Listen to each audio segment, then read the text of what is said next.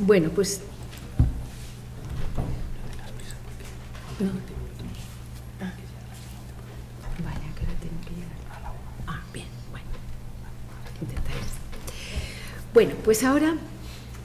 esta otra presentación es eh, relacionada con la exposición que, que, se, que se realizó aquí en el Instituto que llevó por título El Instituto Eduardo Torroja a través de su biblioteca. Bueno, pues si en, la, si en, materiales de construcción hay muchas personas implicadas, en esta exposición hubo muchísimas también. Desde Ángel, nuestro bibliotecario, su equipo, eh, formado por Pablo Martínez y Eduardo Fernández, Nina Romero y Miguel Dols, que hicieron un trabajo desde el primer momento desde la, desde la estructura de la propia, de la propia eh, exposición hasta su, su concreción, como el trabajo que hizo también Antonio Salvador en el diseño de la, de la propia exposición, porque bueno, eh, lo, hicimos con unas, unas, vitrinas que nos suministraron desde Alba Sanz y realmente eh, lo que se hizo fue hacer, Antonio hizo un disfraz maravilloso de esas, de esas vitrinas. A muchas otras personas que a lo largo de, de los meses en los que estuvimos preparando la exposición, pues nos estuvieron suministrando ideas, nos estuvieron suministrando libros o nos estuvieron suministrando objetos que pudimos presentar en la exposición. Bueno, voy a hacer muy breve porque no es mi papel explicar la biblioteca, pero sí explicar la exposición. Pero simplemente, ¿por qué? ¿Cómo es la biblioteca del Instituto? Pues la biblioteca del Instituto de Ciencias de la Construcción, Eduardo Torroja, es una biblioteca de investigación especializada en temas de ingeniería, arquitectura, construcción, ciencias de los materiales, normativa técnica y legislación relacionada. Dispone de una colección híbrida con documentos físicos y electrónicos y con un fondo de más de 24.000 libros y más de 480 títulos de publicaciones periódicas en formas de revistas científicas y, eh, revistas científicas y técnicas nacionales e internacionales. También el Instituto tiene una colección muy, muy destacable en, eh, normas. Tenemos más, en, los fondos de la biblioteca, más de 5.700 normas de todo amplio, de todo espectro, nacional e internacional. La exposición, si recordáis, eh, muchos de los que estáis aquí, eh, la inauguración de la exposición se hizo coincidir con el Día del Libro del CSIC, el 23 de abril del 2014. La verdad es que fue una, idea pues muy buena porque eh, bueno, permitió que en este caso pudiera además asistir la secretaria de Estado junto con otras autoridades del CSIC, como es en el caso del vicepresidente de organización institucional, y además eh, eh, esta organización del Día del Libro del CSIC no solamente va, acompañada de la celebración del libro, sino que el CSIC tiene una colección especial que se llama Día del Libro y en este caso y ese día se presenta eh, un libro de esa colección. En este caso se le pidió al profesor Juan Monjo que hiciera el libro para la celebración de este un libro conmemorativo para esta colección del Día del Libro y él hizo un libro dedicado a la construcción publicada 1850-1950, no recuerdo bien las fechas, pero era así, que además un libro muy interesante. Estas son unas fotos, pues la foto de familia y eh, la mesa en donde estaba la secretaria de Estado o el vicepresidente, nuestro director Juan Monjo y el director de editorial CSIC. Este es el panel que tuvimos en la exposición es, eh, en donde se explicaba cuál era la presentación de la biblioteca y el objetivo y la descripción de la misma. Este panel lo hizo eh, con, nuestro, bueno, con, las indicaciones que nosotros le estábamos diciendo, pero con el diseño lo hizo Antonio y estuvo presente, estuvo durante todo el tiempo eh, que estuvo la, la exposición aquí. La exposición se hizo en la planta a la salida del salón de actos. Eh, teníamos dos, estos dos muebles maravillosos en donde teníamos las 80 monografías que se seleccionaron. Eh, también estaban eh, pues, en, la, en, el frontal expositores y teníamos estos cuatro expositores en esta parte de aquí que correspondían, como ahora veremos, a los libros de Eduardo Torroja. y a la propia a la obra y a la figura de Eduardo Torroja. En la parte de arriba también se colocaron otras vitrinas y eh, bueno, pues también hubo otra vitrina que era esta, que es la que está en, la parte de arriba, que fue una vitrina que se dedicó a libros del CSIC, libros editados por Editorial CSIC, aunque en la parte de arriba pusimos una selección de normas antiguas o relevantes y sobre todo de ámbito internacional, una selección. Esta digamos que fue la, mm, digamos, la disposición espacial de la exposición eh, aquí en el instituto. ¿Cuál era el objetivo de la exposición? Pues era dar visibilidad tanto a la cantidad como a la calidad de los fondos eh, de la biblioteca del instituto. Y aparte de esa, de esa vitrina que estaba dedicada a libros del CSIC, Digamos que la estructura de la exposición estaba basada en cinco grandes grupos. Un primer grupo, que era el reconocimiento a la figura y a la obra de don Eduardo Torroja. Un segundo grupo, dar también un reconocimiento a la labor editorial del instituto, eh, que se había realizado en este instituto desde prácticamente su fundación en forma de monografías, manuales, cuadernos, cartillas, etcétera. Es decir, el instituto tenía su propia editorial en donde los investigadores de la casa y otros muchos invitados de los más importantes investigadores y técnicos que existían en, los diferentes momentos, eran invitados a eh, publicar sus trabajos en estas, estos, en estas colecciones que el propio instituto editaba también se quiso prestar una atención especial en la exposición a los trabajos publicados por los investigadores que estaban en activo o que ya no lo estaban. También tuvimos un apartado para otras obras relevantes de otros investigadores y libros singulares que tenía en los fondos de la biblioteca. Y bueno, pues luego también quisimos que cada una de las revistas, tanto informes como materiales de construcción, tuvieran su espacio y sus vitrinas. Con respecto a la figura y la obra de don Eduardo Torroja, eh, pues se hizo una selección de libros, desde los propios libros eh, que había editado el propio don Eduardo, a, libros que habían resultado, que habían sido resultado del análisis de la obra. Este primer panel eh, todos los paneles, todas las vitrinas tenían unos paneles centrales, unos frontales, en donde el primer el correspondiente al panel 1 era la vitrina que tenían los libros de Razón y Ser y en este caso recogimos eh, lo que el propio don Eduardo, la dedicación que el propio don Eduardo da al libro de Razón y Ser. Esta es la vitrina en donde que corresponde con el número 1 en donde, bueno, pues aparte de los libros de Razón y Ser que edita el CSIC, pues había otros libros, como por ejemplo este en japonés, o en alemán, o en francés, o en italiano, o en inglés, que eran libros, eh, traducciones del libro de don Eduardo Torroja. Queríamos dejar patente también la trascendencia internacional que había tenido la obra de don Eduardo, de, Eduardo Torroja. También había un libro que se había editado, porque esta obra de Razón y Ser es de 1957,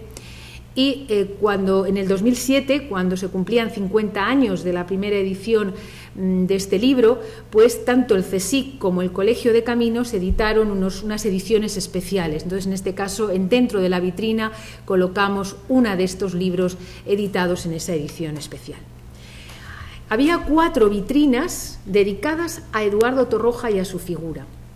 Quiero resaltar en este caso que pedimos a Juan Monjo que nos hiciera una selección de textos extraídos de Razón y Ser que pudiéramos poner en esos paneles, no solo en estos de, Eduardo Torrojas, sino en los de toda la exposición.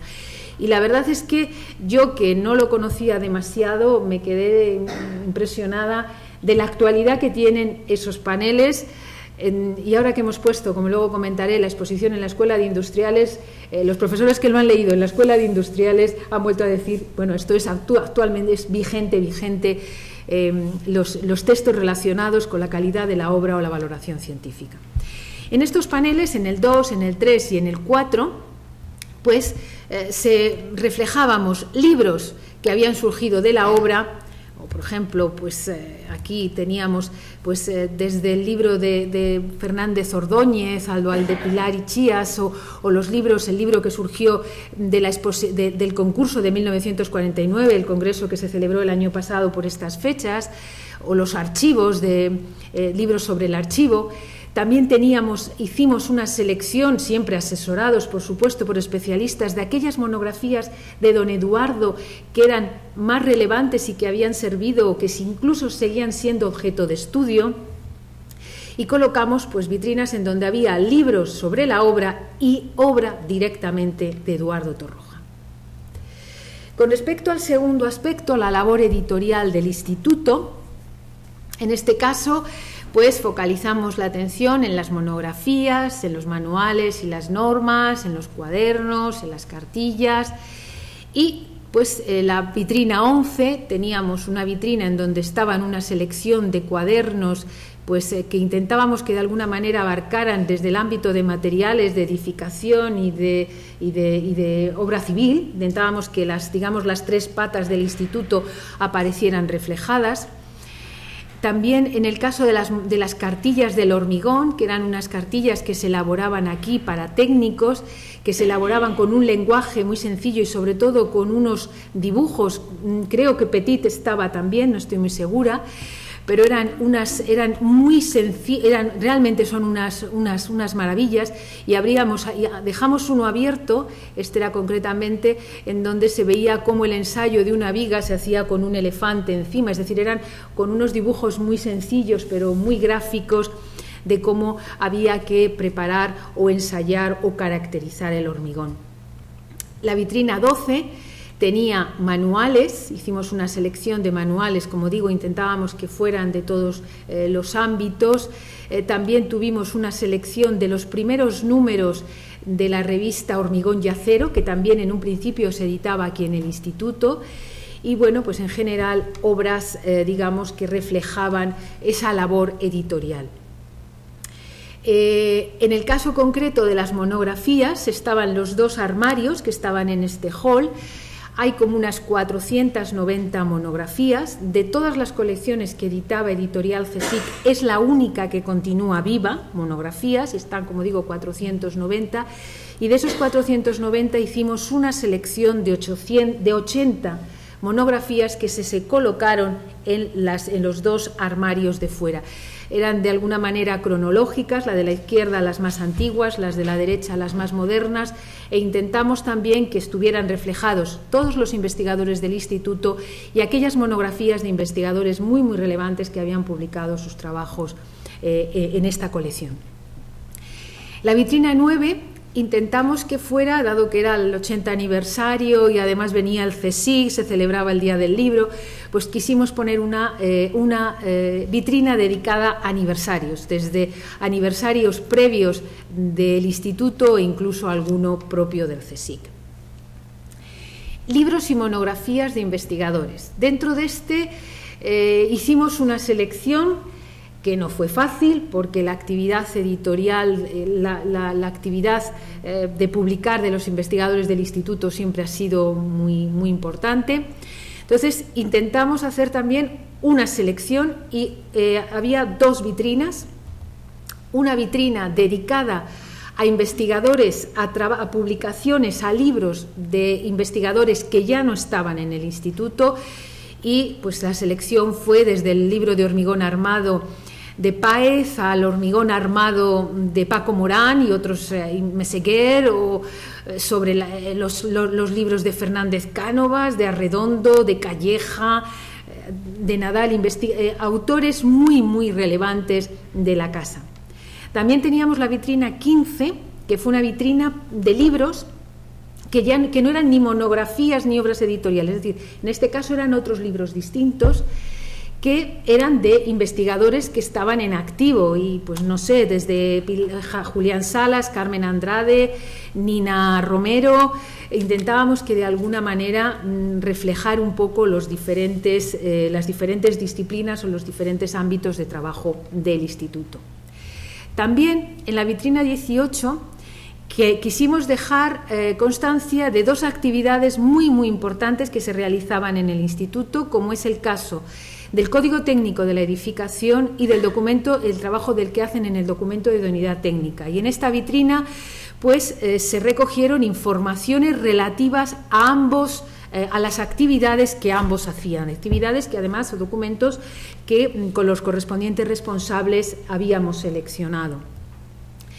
También en la vitrina 19 quisimos reflejar la actividad formativa que el instituto tenía con una parte dedicada a los, al, al CENCO, con diferentes eh, ejemplares, desde los más antiguos hasta los al más moderno, que en aquel momento era el del 2007, de ejemplares de los diferentes cursos CENCO que había habido a lo largo de la historia. Y también quisimos hacer una selección de tesis doctorales que se habían dirigido, se habían desarrollado y dirigido en este instituto. Y bueno, pues igual que en los casos anteriores, pues había desde un campo puramente de materiales a un campo que era una, una dirección de, de, de tema energético que había dirigido Marcelo o una de tipo estructural, creo recordar que era la tesis de, Alfonso Recuero. En general habíamos estas cinco tesis de alguna manera recogían digamos, los ámbitos de trabajo de la casa, porque nos parecía que el papel formativo debía de quedar también reflejado en la exposición como documentos. Y la vitrina 20 era una vitrina en donde eh, recogíamos también actividades que el instituto realizaba. Había un curso que se iba a iniciar o si no se estaba a punto de iniciar, que era el de cursos el del curso de estudios avanzados, pero también eran otros libros que eran congresos seminarios, jornadas en donde el instituto había participado en su organización y en su desarrollo. Y nos parecía que esta actividad también debía de ser eh, considerada. Obras relevantes de otros investigadores. Bueno, tuvimos también varias vitrinas eh, dedicadas pues a, obras desde las más antiguas en este caso, el equipo de la revista hizo un trabajo de buscar todos estos libros con el objeto de encontrar los libros que fueran más, eh, más destacados y más antiguos. Eh, según, los, eh, según bueno, pues los fondos que hay, el libro más antiguo corresponde a este, La idea de la arquitectura, un libro de Vicenzo Scamosi de 1838. Pero realmente había otros libros muy bonitos. Este corresponde a un libro que este es el árbol de la arquitectura. Este es un libro precioso de Miguel Fisac, en donde se recogen eh, sus, sus acuarelas, acuarelas y de obras que él mismo había hecho u otros libros, como es por ejemplo en este caso, que es un libro de la ligereza de las pasarelas españolas, en donde, bueno, pues era además había un trabajo de nuestro compañero Peter Tanner y es la pasarela esta que está aquí al lado del instituto. En este caso, pues eh, eh, la vitrina 10 recogía los libros más, eh, digamos, más antiguos que tenía el instituto. Teníamos todos en el ámbito de la construcción y aquí además pues también había pequeños detalles de, compañeros que por alguna razón cuando estábamos montando la exposición pues nos pedían que pudiéramos meter esta, esta brújula es algo que al propio Ángel Monte, Montes le gusta que está y ahí está. Teníamos también una, una, una vitrina, la número 16, en donde estaba esta pasarela de Peter Tanner, también teníamos este libro muy singular en donde había una estructura que había desarrollado nuestro compañero Juan Murcia y unos libros singulares de obras muy interesantes de arquitectura en donde en este caso pues hicimos una selección, realmente fueron unas arquitectas eh, que habían hecho unos trabajos estupendos. Y eh, teníamos también esta vitrina 17 con otros libros también singulares en donde pues estaban estas láminas, que es un, libro realmente eh, muy bonito, en donde pusimos abiertas, eh, concretamente eran pues unos alzados del de la, el, edificio de, Bellas Artes, de la, de la calle Alcalá o de Torres Blancas o un libro dedicado a la biblioteca y es la arquitectura de la biblioteca, o este libro que os comentaba de Miguel Fisac, en donde dejamos abierto, concretamente en la acuarela que él hizo, presentando un frontal de la entrada del Consejo Superior de Investigaciones Científicas, porque Miguel Fisac fue, uno, él fue el arquitecto eh, de, esta, del CSIC. Teníamos también estas pequeñitas vitrinas en donde teníamos la obra esta de Vicenzo Escamosi, el más antiguo, lo teníamos ahí, y esta que era eh, el libro del Razón y Ser, que se editó en, 2007, pero concretamente en este caso era el editado por el Consejo Superior de Investigaciones Científicas. El que teníamos en la vitrina era el que había editado el, el Colegio de, Ingenieros de Caminos, pero en la vitrina pues eh, teníamos la otra. Teníamos después, como ya decíamos, dos, dos eh, vitrinas, una dedicada a informes de la construcción, en donde quedaban patentes las maravillosas portadas que tiene la revista, la verdad es que son maravillosas, y este libro, que era el libro de los índices, si no recuerdo mal, y con los datos que en aquel momento, porque esto se hizo en abril del 2000 14 todavía no teníamos los últimos datos del Journal Citation Report y de Estimago del 2013, con lo cual eran los datos del 2012 eh, y bueno, pues de alguna manera era también dar a conocer las dos revistas y esto eran pues mm, la, vitrina de la revista Materiales de Construcción. En este caso, como ya les decía, las portadas de la revista no son tan espectaculares como son las de informes. En este caso, particularmente, pues a mí me apeteció poner eh, artículos concretos que era algún artículo de Paco Soria, que había sido director de la revista, algún artículo de Demetrio Gaspar y José Luis Sagrera, que habían sido dos personas muy importantes en el ámbito de los materiales y quise que se vieran esas, esa portada, porque además ellos publicaron mucho en la revista. Creo recordar que había otro tema de Tomás, de Tomás Vázquez y, de, y, de, y, de, y de Calleja. Y ya para finalizar, simplemente deciros que la exposición se ha movido, no se ha movido toda entera, se ha movido un poquito porque em, la, escuela de, la Escuela Técnica eh, Superior de, Ingenieros Industriales de Madrid vino aquí a verla Isabel Mendoza y es la responsable, es la directora de la biblioteca de, esta escuela y bueno, pues quiso que eh, lleváramos eh, una parte de la exposición que habíamos tenido aquí a la Escuela de Industriales para ello eh, llevamos dos vitrinas en donde presentamos la obra de, Torroja, una dedicada a Razón y Ser, que era esta, y esta dedicada a la obra eh, y, trabajos concretos de Eduardo Torroja, y luego las propias vitrinas que había dentro de la, de la, biblioteca, en donde se hizo una selección de, eh, de esos libros de, algunos de los libros, eh, pues se hicieron desde las normas, eh, se hicieron de libros de autores de, eh, bueno, se hizo un poco una selección de todos los aspectos que hemos, que hemos considerado y además se pusieron las portadas tanto de informe y de materiales en la escalera, en las, en las portadas más reseñables. Esta exposición se inauguró el 13 de octubre y en principio estaba prevista la finalización el 31, pero parece ser que la visitó mucha gente y Isabel Mendoza nos pidió poderla prolongar y se prolongó hasta el 10 de noviembre, lo cual bueno, pues estuvo bien, estuvo presente el director de la escuela, también estuvo nuestro vicedirector. Y durante este tiempo que estuvo la exposición en la Escuela de Industriales, el profesor Enrique Alarcón dio una charla, una charla preciosa, eh, se llamaba la, renovación técnica, el Instituto de Ciencias de la Construcción Eduardo Torroja. Fue una charla preciosa en donde, con la gran memoria que tiene, pues se recordaba momentos em, pues relacionados con Torroja, con, sus, em, con sus compañeros. Y eh, yo espero, así se lo he hecho saber, que podamos traer aquí a esta sala a, Enrique Alarcón para que nos cuente eh, las cosas tan bonitas que constó sobre Eduardo Torroja, sobre esta casa y que podamos escucharles en este. Y eso es todo. Muchas gracias.